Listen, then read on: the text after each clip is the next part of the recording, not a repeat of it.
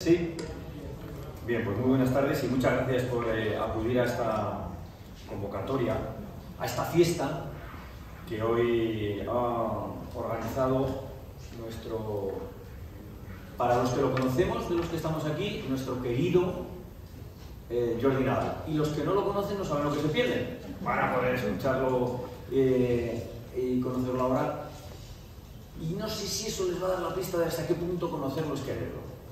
Y esta fiesta, de la que vamos a formar parte todos, pues eh, la llevamos desde esta parte de la mesa quienes hablan. Yo soy Emilio del Río, director de Bibliotecas, Archivos y Museos del Ayuntamiento de Madrid y les doy especialmente la bienvenida por estar en esta su casa, una de las bibliotecas. Aprovecho esta, esto para un minuto publicitario, una de las bibliotecas de las, de las 30, 40 en total, cuento las históricas bibliotecas que tiene el Ayuntamiento de Madrid. 33 la red de bibliotecas eh, municipales y esta, digamos, es la biblioteca, pues en fin, ¿no? más, eh, fastidia la palabra, emblemática.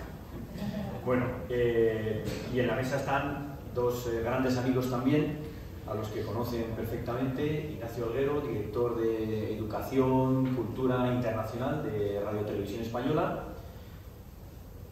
y poeta. ¿Eso compensa lo de periodista? poco, poco. Y, y, Luis Alberto de Cuenca, también amigo, en fin, eh, filólogo, helenista, poeta, escritor. Eh, amigo de la gente de la mesa. Y amigo de la gente de la mesa y de muchos de los que estáis aquí, ¿no? Entre los que hay también muy buenos amigos. Eh, no vamos a hacer intervenciones, cada uno cuenta su rollo y tal. Vamos a empezar a hablar y a dialogar, eso sí, después de que Jordi nos diga unas palabras. Muchas gracias, Jordi, por, por esta iniciativa, por haber eh, elegido esta biblioteca, eh, por haber elegido Madrid para estos primeros 15 años, ¿no? No me gusta decir los primeros 80 años, pero primeros 15 años y mil títulos, dos cifras redondas. Cualquier motivo de encuentro es bueno, pero este es un gran motivo de, de, de encuentro y de celebración. Enhorabuena, gracias y tú eres la palabra. Luego hablamos. Buenas tardes, excelentísimo secretario general de Industria, eh, autoridades, eh, académicos, eh, Emilio, Ignacio, Luis Alberto.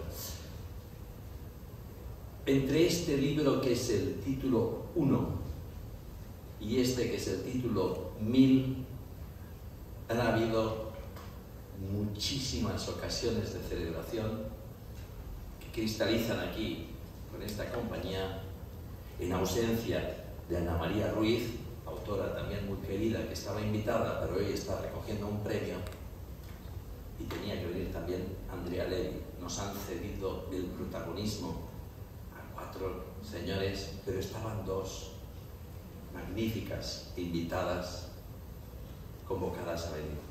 Pero por eso está su libro y están los libros de Luis Alberto, porque en esta mesa hay el título número uno, el título número mil, dos libros maravillosos de Luis Alberto y un libro de Ana María Ruiz, y el catálogo en el que están ustedes, algunos de vosotros, autores, autores en ciernes.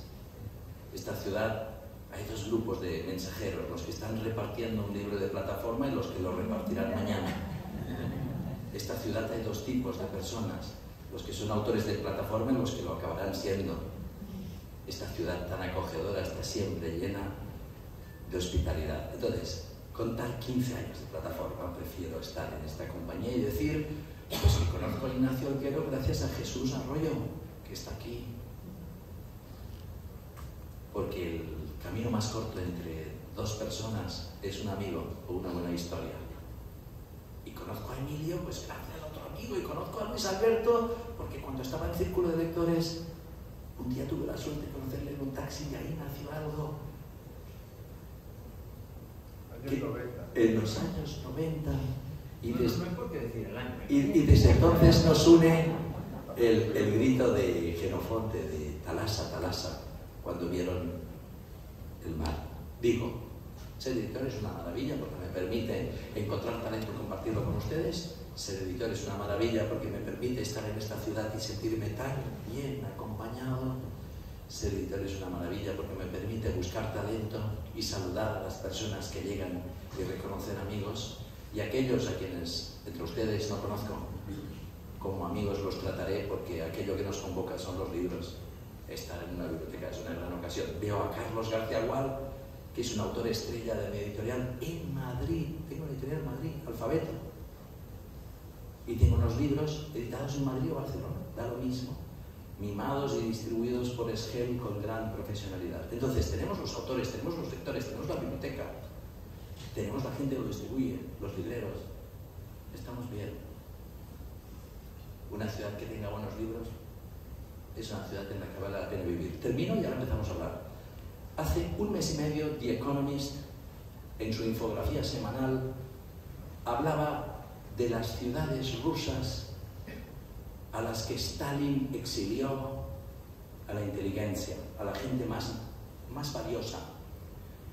Algunos, al salir liberados, porque sus familias iban cerca de Siberia, se quedaron en esas ciudades. ¿Y saben qué pasa en esas ciudades 60 años más tarde? Que son las ciudades más ricas de la actual Rusia, porque se quedaron los que eran inteligentes. Gregorio Luri, un autor fundamental en mi catálogo, dice que hasta los nueve años los niños las niñas aprenden a leer y a partir de los nueve años leyendo. Solo se puede aprender leyendo y lo que aquí nos une es la lectura. A mí lo que me une con ellos es la alegría, el respeto y la voluntad de merecer su amistad mucho tiempo. Y a partir de aquí ya empiezo un acto más de contracté en este primer paso de las fiestas que quisiera hacer a lo largo de este año. Y hoy era un lugar magnífico gracias a tu hospitalidad, gracias a vuestra amistad y gracias a mi fortuna de ser el editor de algunos de ustedes y una persona feliz que defiende los libros. Eh, empezamos a hablar de Contracté. Vale, seguimos. Una. Creo que demasiado de Contracté, me parece. Lo que sí quería decirte, querido Jordi, es que hay otra cosa que también celebramos hoy, que tú por pudor no has, no has dicho. Y es que acabas de reunir en un volumen espléndido todas tus colaboraciones de la vanguardia, no sé si todas o una. Hasta ahora todas. Todas. Yo creo que hay que ser completista en ese sentido y no hacer selecciones. Y que es un libro precioso que recibimos hace muy poco. Aquí lo he Ignacio, lo he traído para leer Me he adelantado a Ignacio donde das prueba de tu absoluta dominio, absoluto dominio de, la, de, la, palabra, porque la verdad es que yo he conocido muy poca gente con la capacidad de comunicación que tienes tú, con la capacidad de llegar al corazón de tus amigos. Y eso es muy especial. Además, en cualquier momento del, día o de la noche o de la estación primaveral o del verano, del otoño, tú siempre tienes una palabra o un WhatsApp lleno de ingenio, de simpatía, de colaboración, de, complicidad. Y eso que decías antes de Thalassa, Thalassa, de la Navas de Genofonte, ya viene siendo una contraseña entre nosotros, ¿no? Siempre nos mandamos abrazos zalasianos, porque realmente ese, ese pasaje maravilloso de, de la Navas merece ser recordado siempre. Y ahora que está aquí Carlos García me acuerdo que hace muchísimos años, nos conocimos en el año 74 o 75 o incluso antes, fuimos juntos a ver una película al cine que se llamaba The Warriors, Los Guerreros, y precisamente era un calco de la retirada de los 10.000 griegos en la nave de Genofonte. ¿no? Y recuerdo perfectamente, se acordará Carlos, a que no puedo ver ahora porque he puesto este, esta especie como de... Pero se acordará de que efectivamente era un viaje por el metro de Nueva York, pero era exactamente la traslación del mundo clásico y de la nave y eso, lo sabe muy bien Emilio, que ha, sido un gran propagandista de los clásicos en nuestro tiempo y ha, visto su modernidad radical y absoluta. ¿no? O sea, leer un clásico griego o latino en este momento, y o cualquier clásico de otras lenguas, pero vamos atendiendo al griego y al latín, es un milagro porque realmente estamos hablando de contemporáneos nuestros, de gente que, está, que puede tomarse un café con nosotros y que nos dice cosas no para el siglo XXI, sino para la eternidad. Entonces, eh, gracias por haberme convocado aquí, hermano. Es un placer, es un placer y un honor. Mi suerte, mi suerte. Bueno, yo voy a empezar con lo que estaba diciendo eh, Luis Alberto. Yo conocí efectivamente a, no, no, no, no me voy tan atrás, conocí a, a Jordi Nadal por, por Jesús, efectivamente, porque un día, bueno, pues tanto su institución, eh, estábamos hablando de Caixa Forum como Radio Televisión Española, seguramente yo en Radio Nacional, teníamos proyectos comunes, proyectos culturales, debió de ver que había mucha inquietud y dijo, tienes que conocer a Jordi Nadal. Y efectivamente nos, conocimos y nos hicimos amigos. ¿no? Jordi Nadal es, eh, me contó la aventura del, y la odisea de poner en marcha plataforma. Yo estoy encantado de, estar rodeado de amigos, de todos ustedes, celebrando esos 15 años porque he ido viendo, ya son muchos años, Jordi, cómo, cómo celebrabas eh, otras distintas eh, aniversarios ¿no? de la editorial y cómo iba creciendo y, y, bueno, mantener una editorial tiene esa parte también de heroísmo. ¿no? Pero sobre todo Jordi es un enamorado de los libros y es un enamorado de la lectura, es un señor apasionado. Me decía Luis Alberto, nos manda esos WhatsApp que a uno le puede pillar en ciertos momentos descrédito vital que le, que le, que le animan, ¿no? Pero en los artículos de La Vanguardia, que es su último libro, eh, Creer en uno mismo y otros artículos de La Vanguardia, eh, lo que nos regala, lo que nos regala en los artículos, y aquí leídos, se leen de otra manera, eh, por cierto, siempre en forma de libro, los, los contenidos de, de, los artículos periodísticos se viven y, y, te seducen de otra manera distinta. ¿no? Yo voy a leerles un pequeñito fragmento donde define a Jordi Nadal y lo que bueno, y en el fondo también define lo que seguramente también ustedes sienten por, por lo que es el lema de la editorial, libros que dan ganas de leer y divulgar, ¿no? Leer es vida, eh, vive las librerías, en fin, lo que jugamos todos. Este se titula, es de hace un año prácticamente, desde el 19 de abril del 21, se titula Ahora que aún tienen tiempo, los gafas me las han prestado, pero me van, me ha dejado las mías en el taxi. Dice, dense el lujo de olvidarse de todos los elefantes en la habitación, ignoren por un rato todas las malas noticias, que incluyen un inmenso atajo de resentidos que quieren incendiar el mundo con cerillas y gasolina que les han proporcionado el esfuerzo que hicieron sus padres y sus abuelos. Ignoren durante unas horas todos los problemas insoslayables de un país sin GPS moral. Aléjense de todo y de todos quienes les están de nuevo defraudando. Y aquí viene la clave. Tomen un buen libro y lean sea por un momento mucho más que el que lucha por salir de este barrizal en el que estamos. Alarguen las manos, sus propias manos, y por decisión propia disfruten una buena historia en la que alguien les cuente algo que les haga contener la respiración de admiración, sea del género que sea. Hay historias para todos los gustos. Lean algo que les diga a gritos que los estaba esperando.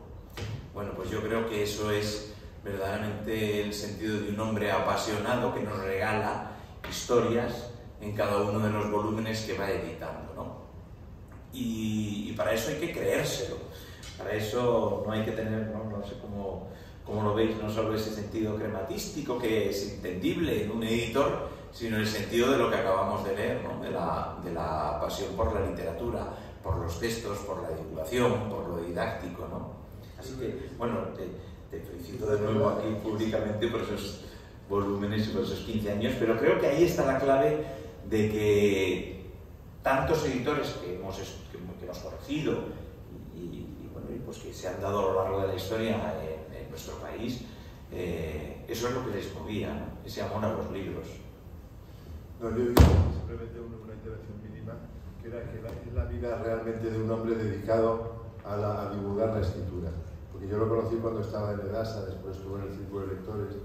Siempre ha estado en, en lugares muy importantes de la edición española. ¿no? Y, y, además tiene un culturón pan-europeo, porque habla idiomas, cosa que no es tan corriente en nuestro país.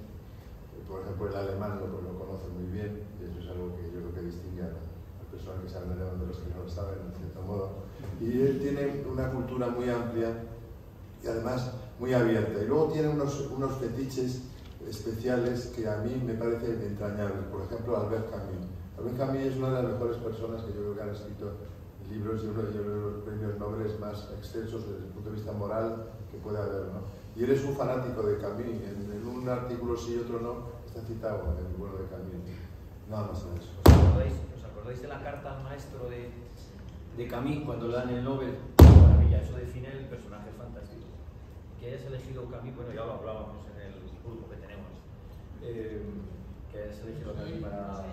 No se oye, que hayas elegido a Camus para celebrar, no, ahora, para celebrar los, este aniversario de estas cifras redondas eh, fantásticas. ¿no? Decía que, no sé si recuerdan o han leído la carta que le escribe Camus a su maestro de, de, de, de primaria, ¿no?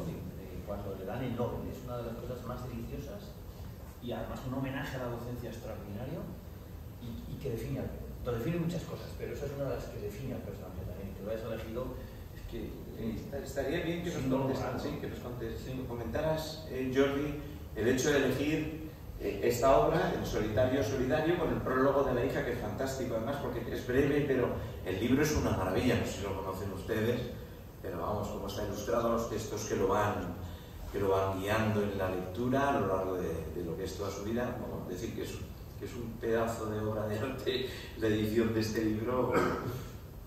Este libro eh, eh, sale lo siguiente. Yo hace ya 20 años, antes de tener plataforma, trabajaba en una editorial que editaba a Camus y conocí a la hija de Albert Camus, a Catherine Camus, en Barcelona. Y dije, me gustaría mucho hacer un libro de, de de su padre. Y me hace mucha ilusión intentarlo y me gustaría, pues eso, un día hacer una selección del pensamiento de Albert Camus.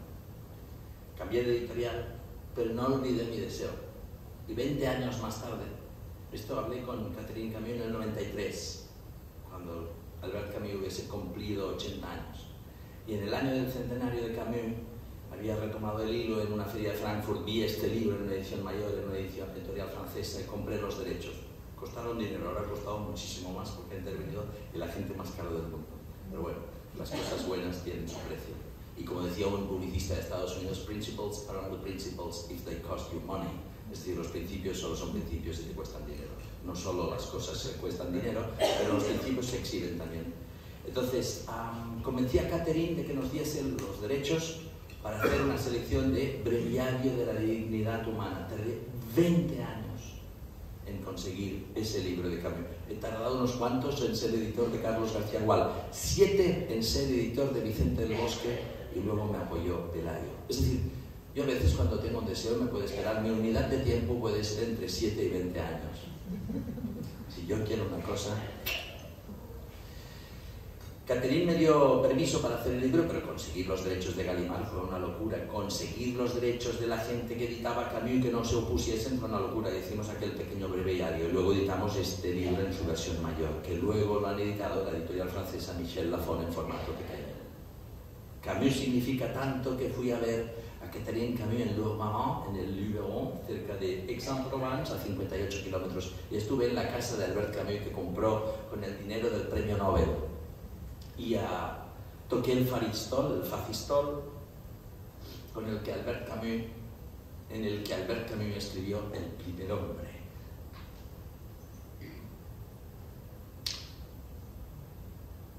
Y este pañuelo de mecánico de mi padre, que llevó mi padre siempre en el bolsillo y que yo llevo desde que monté la editorial, tocó el facistol donde Camus escribió El primer hombre y simbólicamente las manos de Albert Camus, de su padre y de mi padre, estuvieron juntas.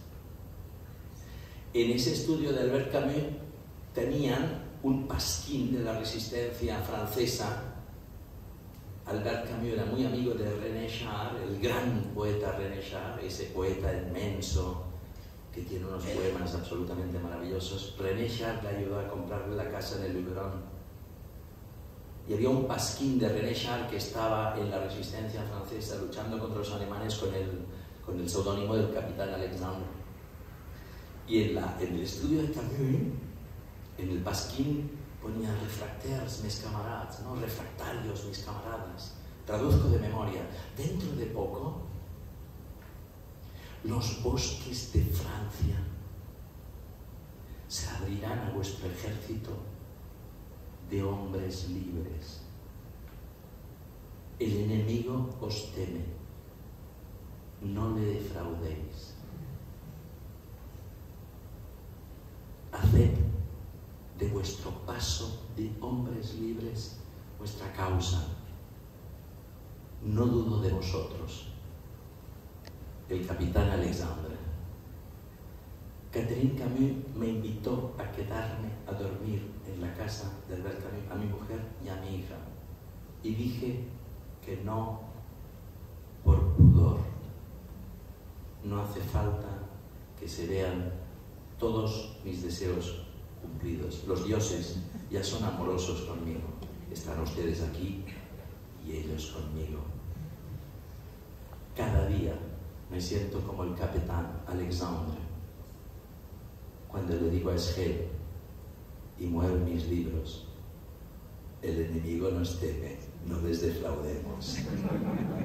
Porque, disculpen, yo vengo de Barcelona.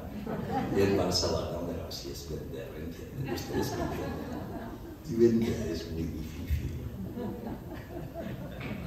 Porque cuando te encuentras un buen manuscrito, los que sois autores, autores, o lo vais a ser, os pido siempre que seáis la relación autor-editor, ahora me estoy poniendo estupendo y muy serio, tiene que ser bilateralmente de exigencia y confianza y generosidad mutua, porque si no, si uno solo es exigente y apela a la generosidad del otro, no es un buen profesional. La edición es un negocio maravilloso.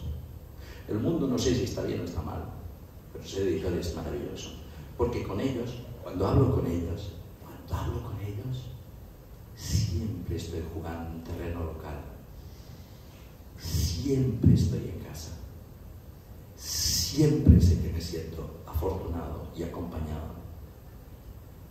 Si es Lewis decía, leemos para saber que no estamos solos. Cuando hablo con Luis Alberto, cuando hablo con Ignacio, cuando hablo con Emilio, los cito por el nombre y el orden que han aparecido en mi vida. Sé que estoy en casa. Cambio es importante, pero también lo es Hay algo maravilloso en mi oficio. Había algunos editores que no me caen bien, pero los libros que hacen son magníficos y les admiro y les agradezco los libros magníficos que hacen. No niego mis emociones, mis filias y fobias. Pero cuando alguien hace un libro magnífico, es un día de fiesta. Hay que celebrarlo. Hay que celebrarlo porque mirad qué mesa hay. No se puede ser más feliz. Aquí podría haber más gente o menos gente, pero no mejor. Y en esta mesa podría haber más o menos ponentes, pero no mejores. En, orden a lo que acabas de decir, recuerdo bastante como en un momento malo de mi vida, el año 93-94, en que andaba yo bastante mal por muchas variadas razones, tú me prestaste ayuda y consuelo por medio de una serie de libros que fueron importantes en mi vida. Uno fue René Char, que siempre lo llevaba en la cartera, ¿te acuerdas? Pues cada día la cartera se desvencijó y guardo lo que el contenido, pero no, no lo llevo conmigo. René Char, que es un poeta excepcional, que acabas tú de mencionar su faceta, digamos, guerrera, pero que como poeta del amor es verdaderamente esencial. O por ejemplo, Miguel Torga, el diario de Miguel Torga. Tú has dicho que eh, hay editoriales que no son las tuyas, pero que hicieron una gran labor. Por ejemplo, eso apareció, creo que en La Guarda. Y he comprado los derechos de Miguel Torga y los editaré y ellos lo distribuirán muy bien distribuido. He comprado los derechos de tres libros magníficos de Miguel Torga, primer premio Camões, que es el equivalente a nuestro Cervantes español. Me alegro haber sacado el nombre de Miguel Torga, ya enmudezco. De René Char, de René Char, de René Char, yo he llevado 15 años en mi cartera un fragmento bilingüe que dice Marthe, que c'est bien mur ne peut pas s'approprier. Fontaine se mira a monarchie solitaire. Él está enamorado. Y le dice a Marta, Marta, fuente en la que se mira mi monarquía solitaria. ¿Cómo podría olvidaros? Yo no tengo ninguna necesidad de recordaros sois el presente que se acumula.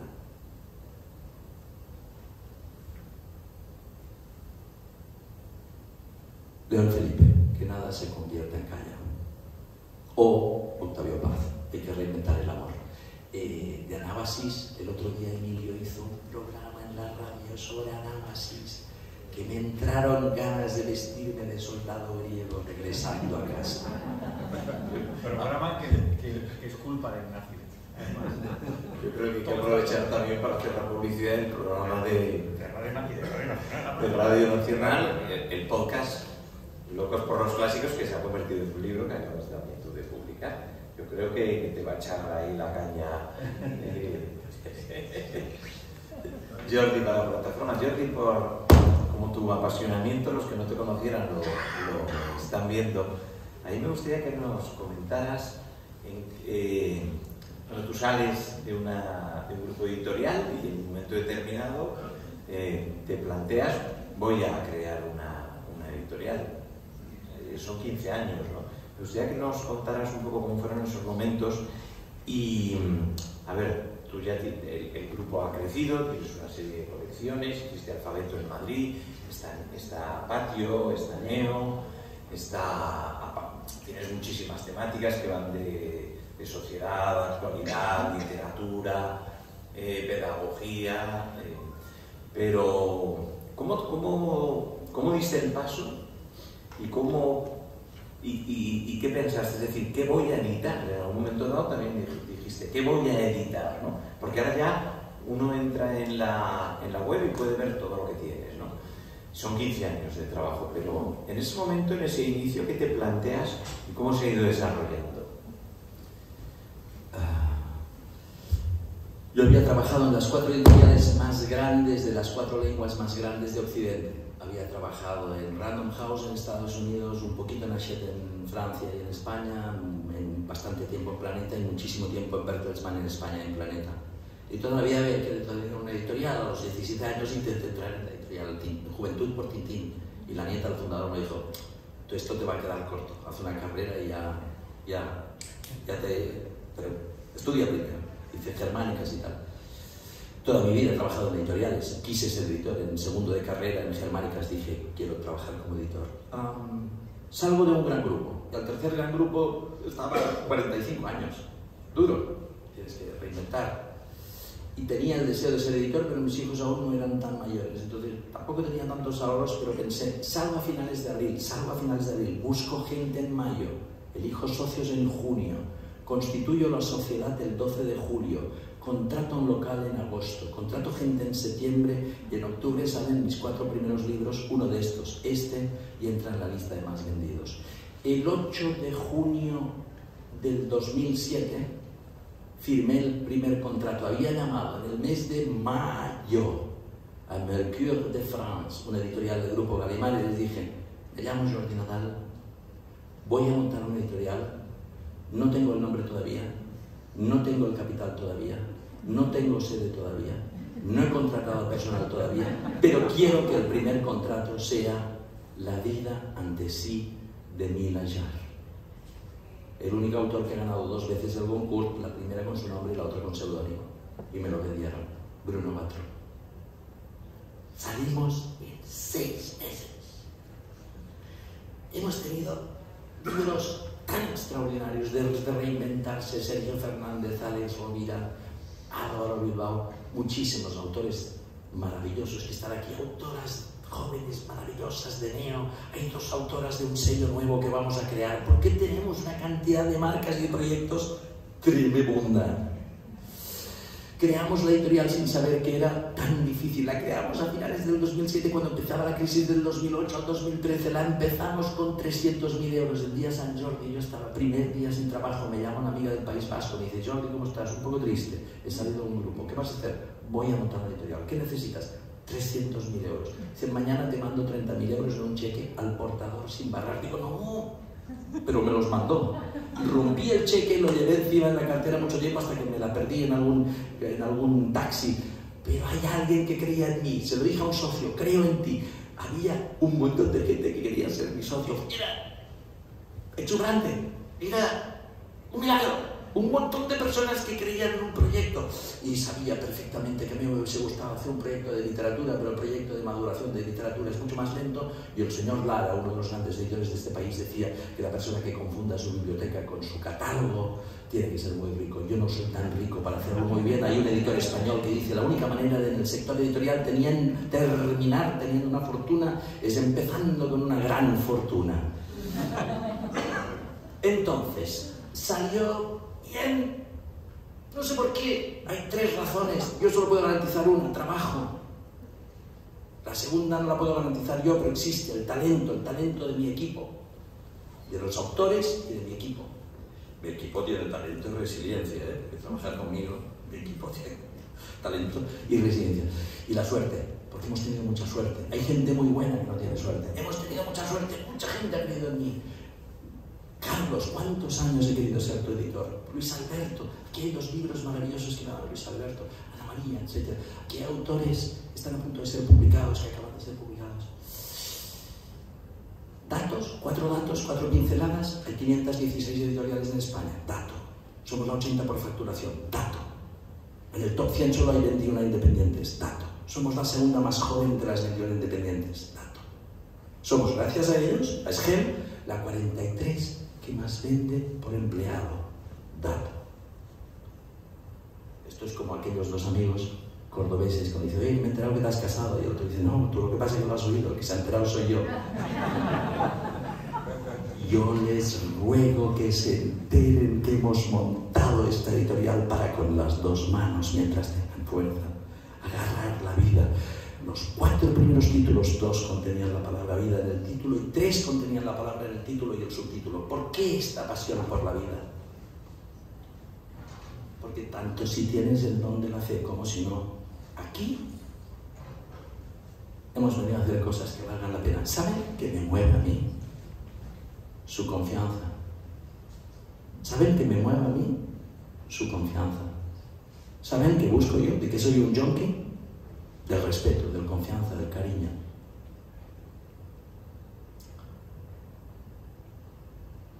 De sentir la ilusión de decir, ¡guau! Gente joven, chavales jóvenes que no saben qué tienen que pensar cuando se hacen mayores. ¿Por qué no ponemos a Luis Alberto en un hotel de Madrid con 15 chavales jóvenes de 18 a 22 años y él les da una lección magistral de aquí y ahora, él les da dos parámetros, la historia y la geografía, para que tengan una cosmogonía? ¡Zas! Lección magistral. O su libro de, libro, su libro de palabras y su etimología. O el libro de Ana María Ruiz, la enfermera, que no está aquí, pero está aquí, que entregó el Goya a la mejor película, que ganó el premio Phil Good con el patrocinio de la Fundación Bancaria La Caixa. Es de bien nacidos ser agradecidos. Camus, Jean Masson. Les cuento otra anécdota maravillosa. Mi maestro en Alemania, un gran editor alemán, que publicaba 400 libros al año, Rudolf Walter, editorial Herder, un día me dice, Jordi, te mando un libro. Me manda un libro de una monja chile, alemana que trabaja con los pobres en Santiago de Chile. Yo me iba a Chile a dar un seminario una semana, bueno, en el vuelo Madrid, Santiago de Chile, empiezo a leer el libro en alemán. Estoy conmovido, su padre es mecánico como el mío, es una historia de amor, de, de amor a la vida, de amor a la fe, de amor a los pobres, de amor a la bondad, de la entrega absoluta de las personas, de generosidad absoluta. Y al aterrizar, agarro mi maletín, miro el libro a la cubierta, miro a una señora dos asientos más allá, miro la cubierta, le agarro la mano y digo, eh, perdone, ¿es usted en alemán Caroline Mayer? Vengo de Santiago, Chile, la venía a ver entre otras cosas.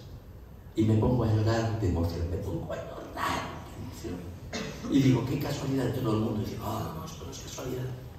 Yo no sé, yo sé, y tengo datos. Tengo un dato, en 15 años he mandado y he recibido, sin duda alguna, más allá de un millón de correos electrónicos. El segundo dato es, somos 14 personas, gente joven. El tercer dato es, donamos el 0,7% a ONGs de las ventas. El cuarto dato es, apadrinamos una escuela pública antaviana en Barcelona que es abrir un programa Salvados de Évole. Nos gusta cuidar a la gente, porque cuando ayudas a gente a que se formen, aumenta el conocimiento, aumenta la riqueza, aumenta la justicia social, aumenta la esperanza, aumenta la democracia, aumenta la alegría, alegría colectiva. Yo, si publicase libros, haría sobre todo literatura, pero sería un periodo muy lento de maduración y no tendría 14 empleados. Y me gusta tener 14 empleados. Cuando era pequeño me preguntaron, ¿tú qué quieres ser de mayor? Y cuando era muy pequeño decía, policía. Y añadía, pero de los que mandan, ¿eh? Y cuando me hizo un poco mayor, mi madre me preguntaba, de Navarra, había venido a Cataluña a servir, mi padre mecánico. ¿Tú qué vas a hacer de gran? ¿Tú qué quieres hacer de mayor? ¿Qué quieres ser? Él decía, yo quiero ser rico. Y con la ayuda de Schell igual lo seré. Que son mis distribuidores y tienen que... En España se publican más de 60.000 libros, yo publico 60. Ellos defienden mi libro que compite con otros 1.000. Hay que ser muy humildes para hacerlo bien con 999. Hay que ser muy humildes. Que me cuesta mucho. Pero estoy en esta y es muy difícil de humilde. ¿Cómo quieren que no disfrute de este momento? ¿Por qué plataforma? Puse de nombre plataforma, pensé en varios nombres.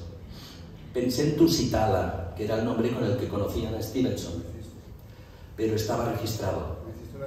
Hice una colección Tusitala, lo pensé, sí, en círculo. Pensé en Bardamú. Luis Ferdinand Celine es un personaje buah, terrible, pero su viaje al fin de la noche es una obra maestra que me divierte mucho. Es un provocador bestial. Pensé en otros nombres. Y luego pensé, yo ya tenía una pequeña empresa que se llama Plataforma Abierta, porque todo el mundo estaba en telefónicos, pues una plataforma, es una plataforma. Yo, yo también. O yo, una plataforma, yo también. Y registré plataforma. Plataforma abierta, plataforma editorial. Plataforma es un lugar elevado, 360 grados y pasan cosas. En Madrid tenemos alfabeto. Ojo, en las bodas de Cadmo y Armonía, ellos os lo contarán mejor. Eh, El novio recibe de ella un regalo y él ella le regala el alfabeto. Muchas gracias. Y además es el nombre de la matriz de Google que cuando se quieran instalar en España verán que la marca es mía. Es porque incluso el, el nombre alfabeto y el nombre plataforma es un hecho verdaderamente heroico haber conseguido tú ese, ese nombre, porque son cosas que habitualmente pueden otros haber, en. Sí, tenemos marcas estupendas como Estrella. Tenemos marcas estupendas como Tierra. Mirad qué nombres más bonitos. Tenemos marcas registradas como palabras mayores. Los nombres, ustedes han visto películas de Kurosawa, los estandartes japoneses que anuncian el ejército del emperador. Dicen cosas. Y hay que saludar a las palabras y saludar a las personas y saludar a las cosas. Porque hay que inclinarse delante de las cosas.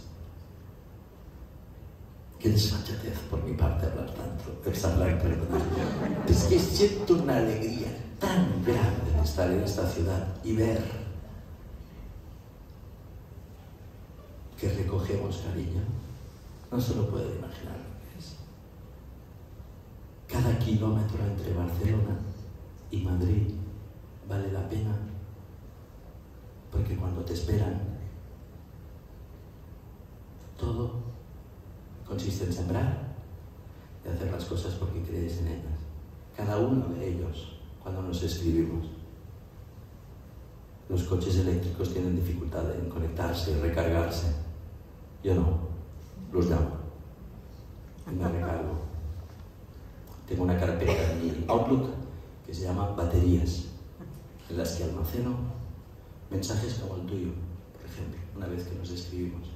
Yo almaceno en una carpeta que se llama baterías aquellos mensajes de aquellas personas que, como Tintín en Tintín en el Tíbet, son reconocidos como puros de corazón. Miren que el mundo es duro, pero ver en la gente la pureza de su corazón. Albert Camus decía que hay que juzgar a los colectivos por lo mejor de cada colectivo. ¿Cómo son los taxistas? Pues como sean los mejores de los taxistas. ¿Cómo son la gente de la comunidad de Madrid que lleva bibliotecas? Como Emilio. ¿Cómo son los académicos en esta ciudad? Como Luis Alberto. Carlos, ¿cómo son la gente que hace radio? Como Ignacio. Yo en una próxima vida quiero ser el perro de estos tres y traerles las zapatillas. Yo les quiero traer las zapatillas. Les siento una alegría tan instintiva, tan poderosa.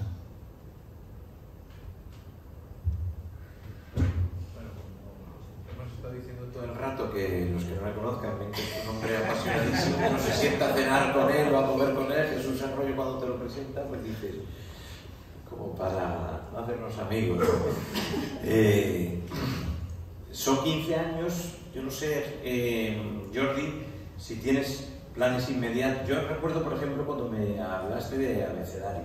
Me acuerdo perfectamente, perdón, de alfabeto, y me hablaste de cuál era la idea, cómo era la idea de aterrizar en Madrid, con qué gente ibas a, a- a contar, cuáles eran los primeros títulos que tenías pensado. ¿no?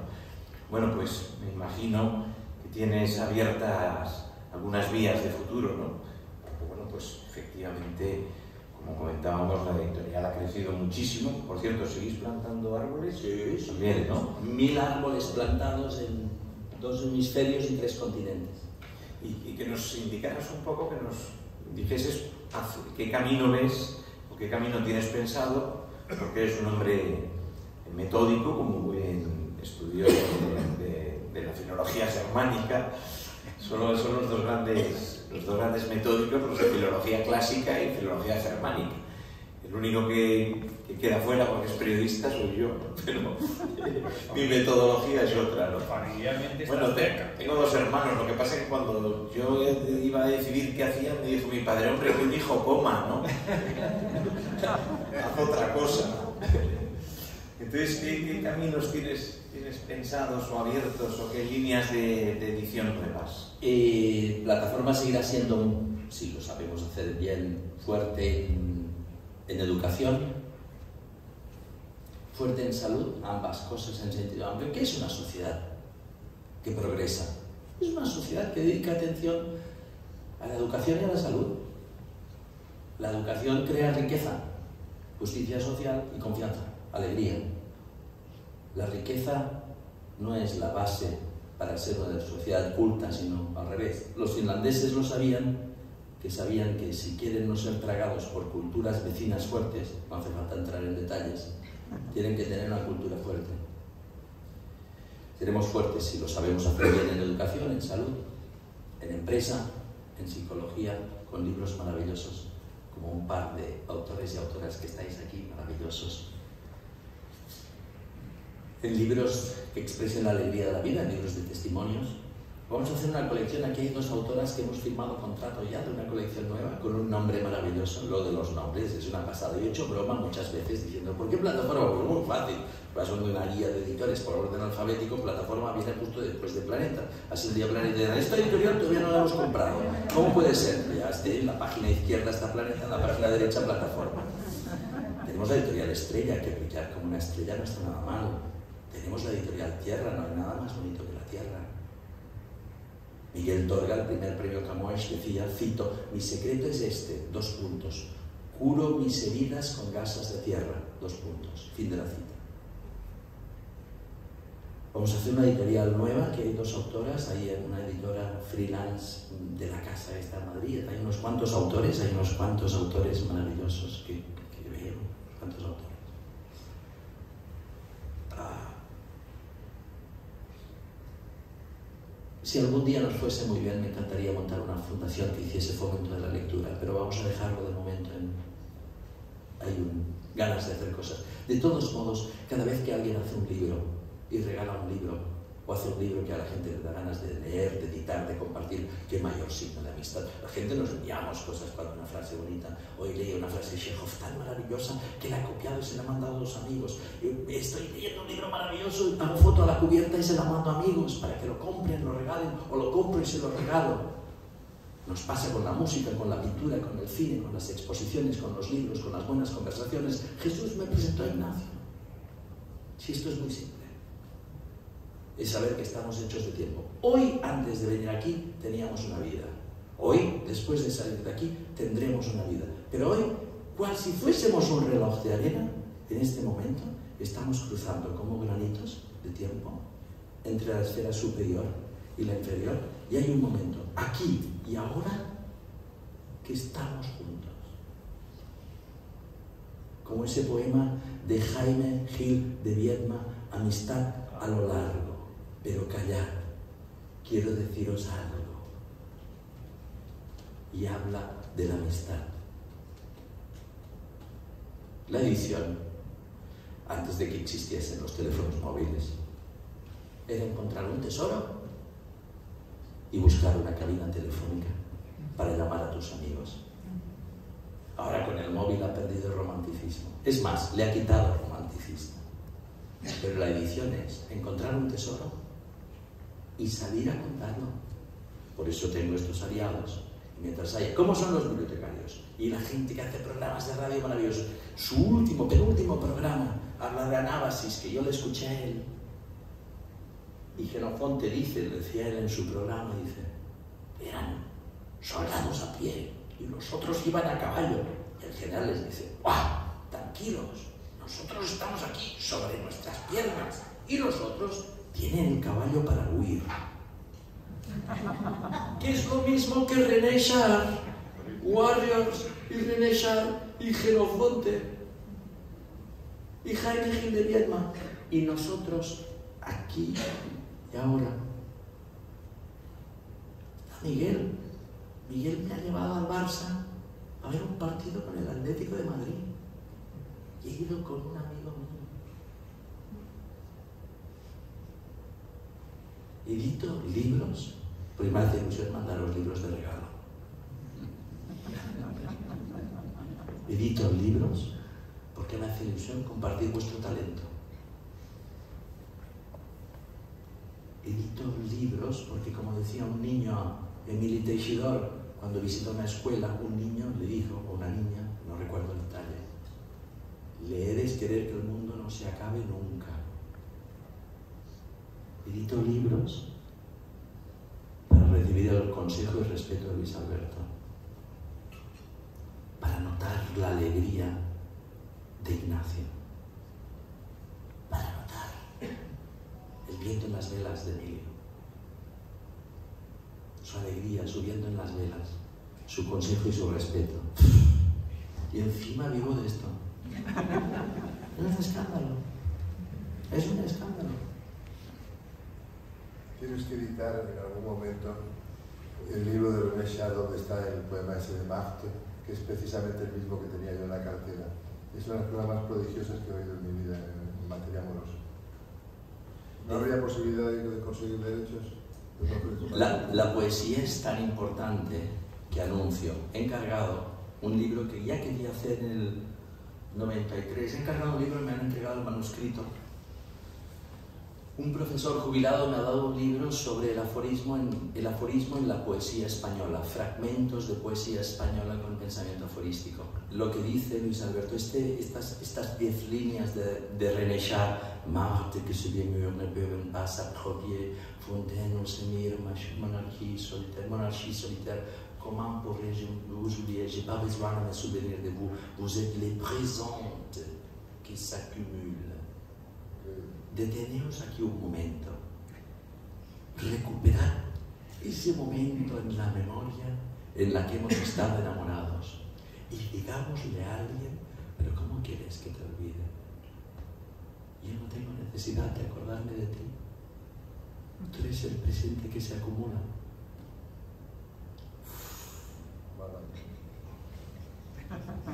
Y así siempre. Permanentemente. No es coña lo que voy a decir. No es coña, que lo parezca. Tengo un catedrático, un amigo catedrático de, de la universidad, en Deusto, por cierto, que es que da asignatura de bolsa. Yo no tengo nada invertido en bolsa, no por, por eh, principio, sino porque no tengo dinero para invertir. Y le digo, oye, ¿y esto cómo hay que invertir? Catedrático de la cosa, ¿eh? Y dice, ¿cómo eliges dónde invertir? Coges un mono, le tapas los ojos, le das unos dardos y donde caiga en la diana, pones ahí las, empresas y donde caiga inviertes. Dicho bueno. Hay una parte en la edición que siempre has hablado del, del, talento, claro, de la resiliencia, del trabajo. El azar. O sea, es que es, es pura suerte. ¿Por qué este libro funciona y este no?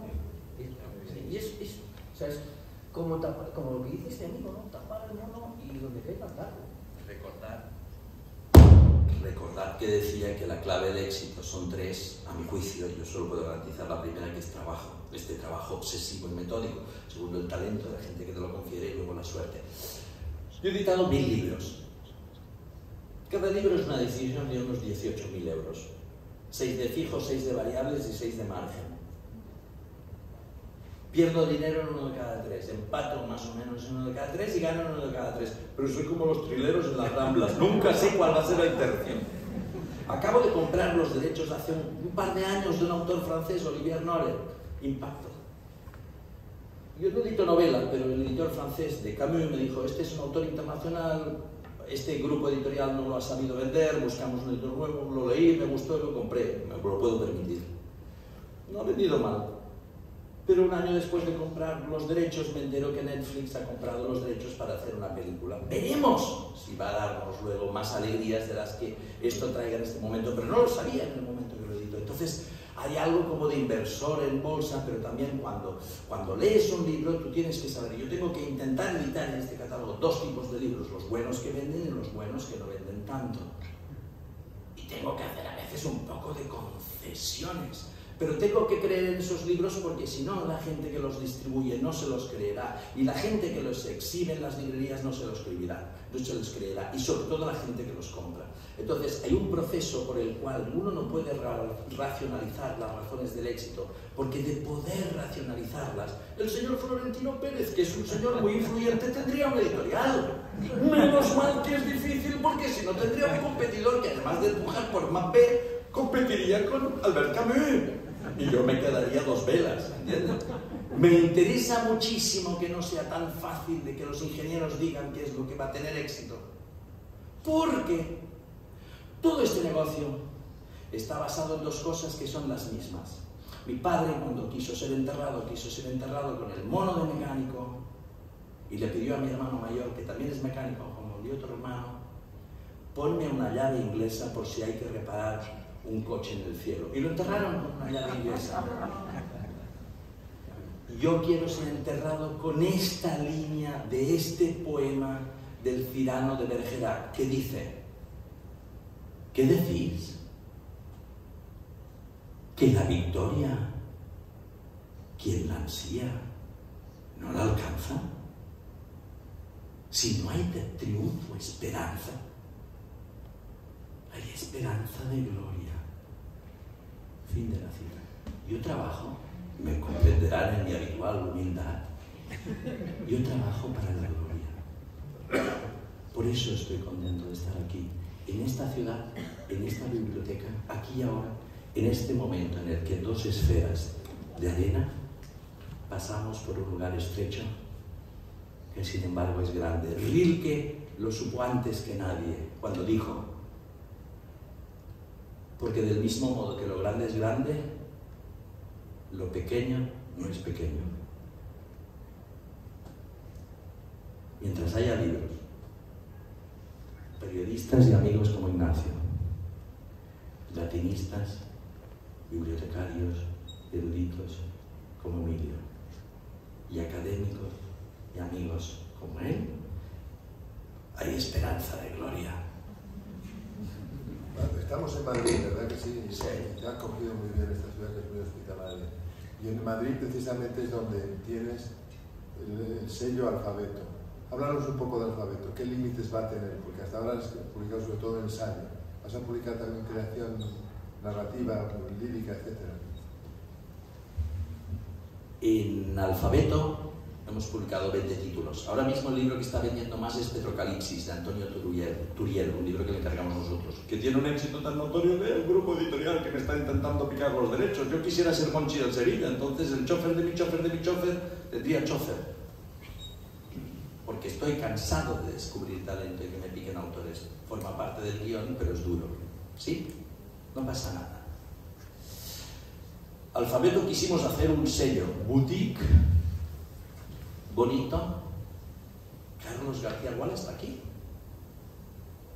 Acabamos de publicar un libro en alfabeto con él, que me he esperado mucho tiempo para ser su editor, porque yo lo trataba desde el año 91, 90, 87, 88, 89, me acuerdo de su letra, de los libros que le mandaba cuando estaba en círculo. En alfabeto acabo de encargar una edición de un libro de un poeta alemán que me gusta mucho, que cuenta cosas, que da consejos a escritores, las cartas a un joven poeta de Rilke. Acaba de hacer una edición de aforismos de Schnitzler. Es una mezcla entre ensayo, sociología, pensamiento, libro actual, etc. Alfabeto es la mejor demostración de que la única manera de acabar siendo rico, siendo editor, es empezando siendo muy rico, porque en el momento es más complicado. En cambio, la plataforma despegó inmediatamente. También porque hay algo muy importante, que es cuando eres editor intentar... Albert Camus dice, hemos de contribuir a la felicidad y a la alegría, porque este mundo no es feliz. Entonces, los libros que aporten bálsamo y consuelo. A mí me gustaría ser médico, pero como no tengo la suerte ni de ser ni médico, no tengo la fortuna de ser ni médico ni maestro, que me parecen las dos profesiones más bonitas, soy editor que es un poco la mezcla de estas dos uh, profesiones. En plataforma buscamos libros que cuiden, que acompañen, si no curan, que cuidan y que acompañan. Y en alfabeto libros que ilustren y eleven a gente que pueda sentir la tentación de pensar que vive en una monarquía solitaria, que es una hermosa metáfora de la condición humana. Alfabeto es una editorial bonita, y es la marca de Alphabet, la matriz de Google. No sé si ustedes entienden de marcas, pero yo lo que he aprendido les puedo asegurar. Aquí donde me ven, solo romántico no soy. ¿eh? Para que una editorial funcione, tienes que tener mucha suerte y amigos como ustedes. Jordi, decías, eh, para que una editorial funcione, está la parte de suerte que comentábamos, podríamos decir lo mismo en el mundo de la música, bueno, las discográficas son lo que son, pero ellos te comentaban tiempos cuando las discográficas eran, eran fuertes, que sacaban 10 artistas pensando en que podía ser uno el que diera, el que diera, eh, que funcionase, ¿no? y el resto no le volvían a sacar el, el segundo disco, ¿no? Pasa, muchos autores ¿no? que sacan un libro, tiene éxito, si no tiene éxito no te sacan el segundo. Pero bueno, hay muchos autores que se quedan en el primer libro. ¿eh? Y hablabas de suerte, hablabas, estamos hablando por supuesto de, de, de creer en el, creer en el negocio, creer en la pasión por los libros. ¿Y cuál es tu relación también con el mundo de la publicidad, del marketing? Porque claro, hay que nacer desde abajo hay que ir haciéndose un hueco, han pasado 15 años, pero ¿cuál es en este momento tu relación o, en qué confías, entre comillas, porque te decía, no, no, podemos ni confiar en la suerte, por supuesto, confiamos en los autores, confiamos en los nombres, pero existe el mundo publicitario, el mundo de la inversión publicitaria en autores, que eso no te va a justificar ni te va a asegurar que un autor como hemos visto en grandes editoriales que han metido mucho dinero en la, en la publicidad una obra, no ha vendido absolutamente nada. Y libros, pues el de El infinito en un junco es un ejemplo de un libro que nadie se esperaba que funcionase como, como funcionó. De un buen amigo nuestro, como es Manolo Vilas, que ha muchos libros ya publicados y tampoco esperaba ni él mismo que fuese, que fuese Ordesa a tener ese bombazo o Patria, ¿no? Hay muchos ejemplos y, al contrario, ¿no? publicidad invertida a lo en, en, obras que no han funcionado. ¿no? ¿Cuál es tu política en ese, en ese terreno? La pregunta más importante que se tiene que hacer un editor, a mi juicio, es pensar si su cliente es el lector o el autor. Si es el lector y o el librero o el autor. Yo les confesaré un secreto. Yo pienso en el autor. Porque es el autor y su talento quien el talento es... A veces la virtud no se ve recompensada. Algunos dicen que casi nunca o solo en ocasiones. Yo busco el talento del autor porque necesito que este catálogo en sus páginas tenga libros de autores con talento y ese talento encontrará su camino. Yo pienso que el talento acaba despertando el mecanismo de boca a boca. Dicho esto, mi distribuidora sabe la presión amable y amorosa que ejerzo, todos estos guiños que hago hacia ellos es para exigirles amorosamente que sigan cuidando amorosamente con la proverbial generosidad, profesionalidad y cariño a mis libros, porque vuelvo a insistir que hay 60.000 libros. Entonces tienes que ser muy humilde cuando sacas un libro al mercado y tienes que pensar en comunicarlo bien. Muchas veces un libro sale en una editorial muerto porque no lo has contado bien. Desde el Renacimiento uno sabe que uno solo vende lo que ama y uno solo ama lo que conoce. Tienes que contar bien ese libro. Nosotros, aquí hay el guion del 15 por 15. Un día les conté a Asger, oye, tus 51 vendedores que venden cada día y seducen, cuidan, miman a los mejores libros de España, dadme 15 minutos y os cuento en 15 minutos, 15 por 15, 15 datos de plataforma para que ellos sean mis embajadores. Entonces, tenemos que contarlo bien a nuestra distribuidora, tenemos que contarlo bien a los medios, tenemos que contarlo bien al consumidor final a través de las redes sociales, tenemos que contarlo bien a los autores, porque un gran editor alemán decía que el contenido de un libro es solo una parte del contenido, tenemos que saber absorber muy bien el conocimiento del mundo del autor, de la autora, para contarlo bien, porque todo depende de la calidad de la información y que aquello que tú cuentas sea memorable. Uno tiene que conseguir, como en, eh, como en la película y en el libro El perfume, tienes que conseguir que te quieran devorar por. Tienes que conseguir que te respeten, tienes que conseguir que les gusten tus libros, tienes que conseguir que caigas bien, tienes que conseguir que quieran recordarlo, tienes que conseguir que quieran compartir eh, ese éxito.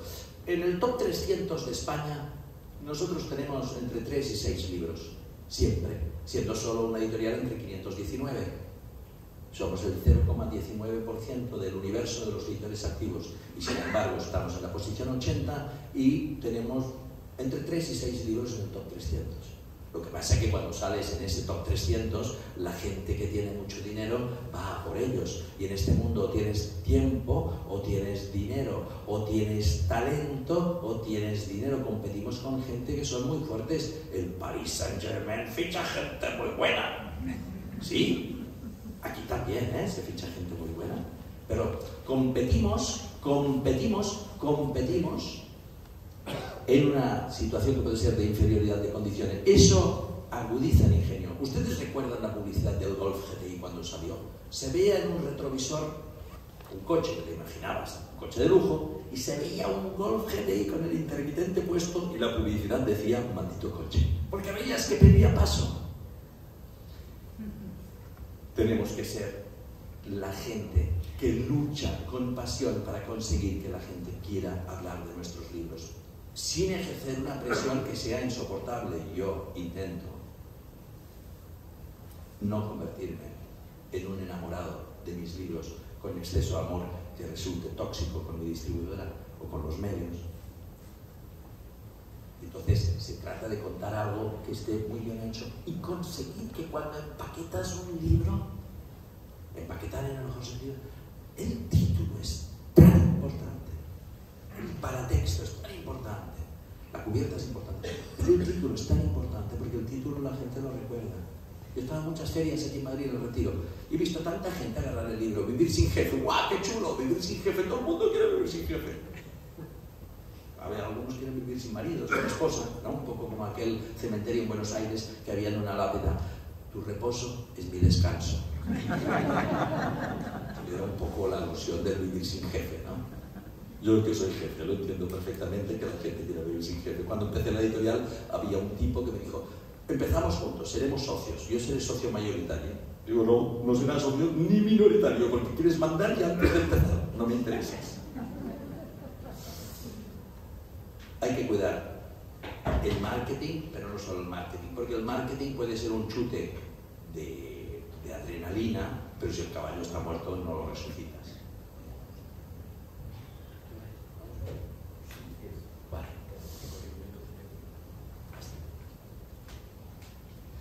Perdón, ya hemos hablado los de la mesa, no sé si hay... Jordi, si quieres Jordi, que alguien... Sí, ¿alguna pregunta en el público? ¿Alguna...? alguna observación, alguna crítica también, dudas, Ya. si es posible. Estamos, somos Si no, generaciones. si no, Jordi sigue, ¿eh? Y las Y duraciones. nosotros también. Estamos encantados. Na- Nadie se anima a romper el...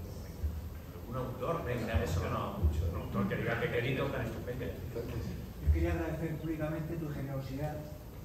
Eh, tuve la oportunidad de conocerte de- a través de, tu- de uno de tus libros y eh, te entrevisté para sus ojos de luz y donaste unos libros para que repartiéramos entre la gente de la calle, que agradecieron también de poder leer, la lectura hace más leve la soledad de la calle, con la gente que, ve- que los sin techo. eh, tuvimos la oportunidad de regalar uno de nuestros libros y, y gracias, gracias por tu generosidad, gracias por, por, por tu, por tu amor a la lectura, a los libros, a la cultura y la difusión que haces para que la gente, para que los lectores, para que la sociedad lea. En la película Shakespeare in Love hay un momento en el que falla un actor y hay un tartamudo que iba diciendo en la película Miracles happen, ¿no? Los milagros suceden y de repente habla fluido y empieza a actuar. La entrevista que me hiciste es una entrevista en un momento determinado se fue creando una atmósfera de confianza tan grande que yo que hablo mucho y rápido me detuve me puse a llorar un rato. Y nos quedamos atónitos. Salió así. Pero uno estudia a veces en escuelas de negocio y te enseñan a gestionar una cuenta de resultados. Y Milton Friedman te dice que tenemos que producir beneficio y todo esto de la escuela de Chicago. Pero seguramente lo que cada uno de nosotros recordará como los momentos estelares de nuestra vida tiene que ver con algo que no lo recoge una hoja de Excel, por ejemplo, cómo nos han cuidado nuestras madres, que es la peor inversión desde el punto de vista de una cuenta de resultados, pero es el milagro más grande del mundo. Cuando das un libro a una escuela, a la escuela antariana a la cual damos libros hay 450 familias, niños de 3 a 12 años. Según el informe PISA, las casas donde hay menos de 20 libros hay fracaso escolar, si hay más de 200 hay éxito escolar. Después del programa llevo y escribí a esa escuela, le mandé una caja de libros, el director me invitó, me contó que tenía 11 niños y niñas sordos, 10% niños de etnia gitana, 30% inmigrantes de bajo poder adquisitivo.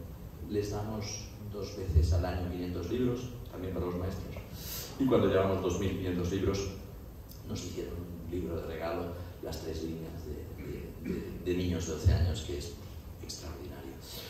Cuando alguien hace algo bien y hace buena aquella frase del ruido no hace bien y el bien no hace ruido, y es no maquillaje de RSC, sino algo real, cuando tú haces algo o alguien hace algo auténtico, el tiempo se detiene. Respiras, lo reconoces, lo abrazas, lo recuerdas y te lo llevas. Yo creo que es eso de lo que tratamos. Por eso mando con tanto cariño libros, con notas manuscritas, con una letra infame que apenas nadie entiende, con tanto cariño. Qué bueno. Abrimos ahora, por cierto, hay un- una cosa que se llama bibliored, que son mini bibliotecas. Unos seis. Abrimos dos en Cañada Real. ¿Te vas a venir? Con mucho gusto. Sí. Hace poco, hace poco cinco trabajadores sociales de prisiones en Barcelona me pidieron si quería tener una sesión de media hora para formarles, para hacer biblioterapia. Y había cuatro, cuatro señoras y un señor y les contaba cosas y me levantaba, hacíamos un zoom, les iba a buscar libros, iba viendo la cara de Antonitos que pensaban, este tío se ha tomado siete Gatorades o qué, siete Red Bulls o qué le ha pasado. O sea, estaban atónitos, atónitos.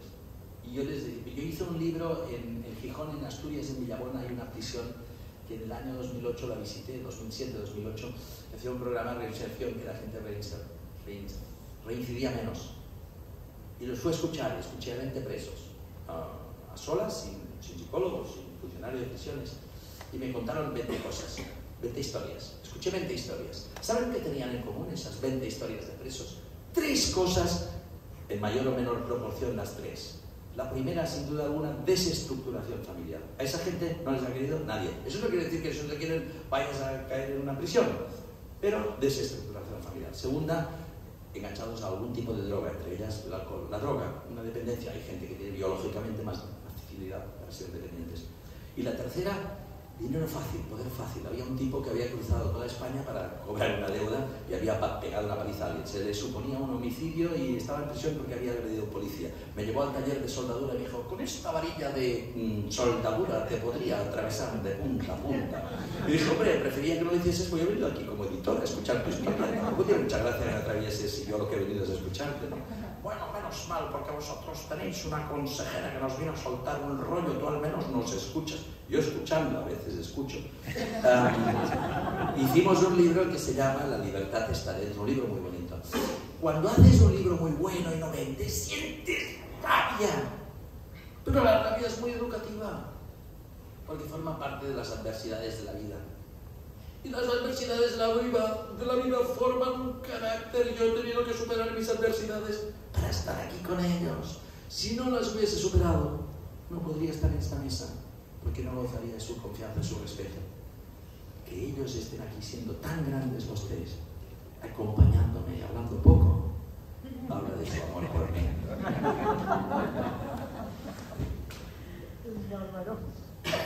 ¿Queréis comentar algo para terminar? Bueno, pues felicitarte, Jordi. Eh, te tengo que volver a dar una sección en la radio, es evidente, porque ya la tuvo. Hipnoterapia, ¿te acuerdas? Verano. Un duplex. Claro. Si la tiene Emilio y la tiene Luis Alberto, pues estarán conmigo y que hay que recuperar a Jordi, ¿no? Por aclamación, ¿no?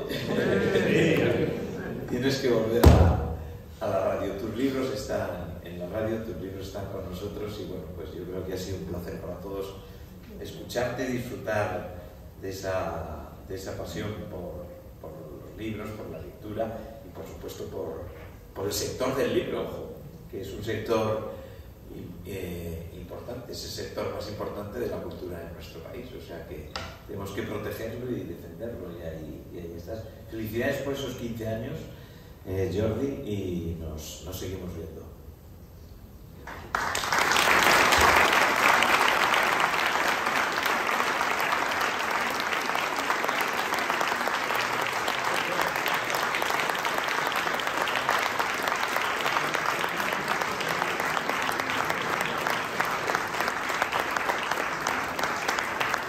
Eh,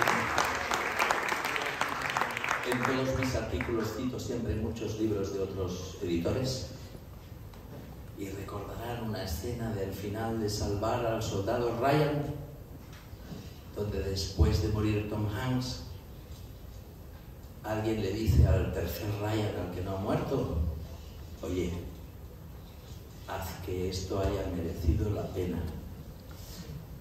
Ahora paso al tú. Ayudarme, por favor, a que esto merezca la pena. Plataforma es algo muy bonito, pero no lo puedo hacer solo. Ayudarme a que esto merezca la pena. Ah, habrá más días felices en mi vida, pero lo tendrán difícil cuando compitan con